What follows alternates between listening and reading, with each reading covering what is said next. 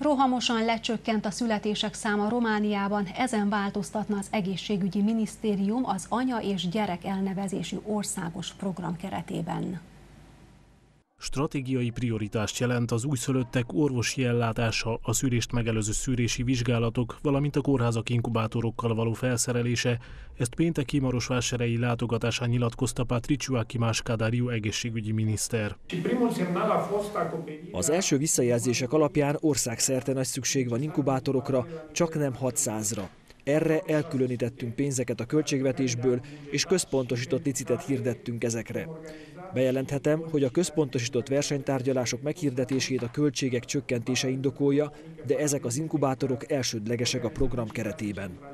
A szaktárca országos szinten 33 millió lejt fordít az inkubátorok beszerzésére. A Maros megyei sürgőségi kórház több mint 40 inkubátorra tartott igényt, erre rá is bólintott a szaktárca, a befektetés értéke meghaladja a 3 millió lejt. Az anya és gyerek elnevezésű országos program keretében egyébként kiemelt fontosságú tulajdonítanak a megelőző jellegű intézkedésekre is. Fontos, hogy nyilvántartásba vegyük az állapotos nőket már a terhesség első három hónapjában. A családorvosokat kérem arra, hogy tegyék ezt meg, ugyanis ekkor már jó rálátást lehet nyerni a terhesség kimenetelére. Ugyanakkor el kell végezni a teszteket, illetve szűréseket a megtermékenyítés minőségének a vizsgálata érdekében.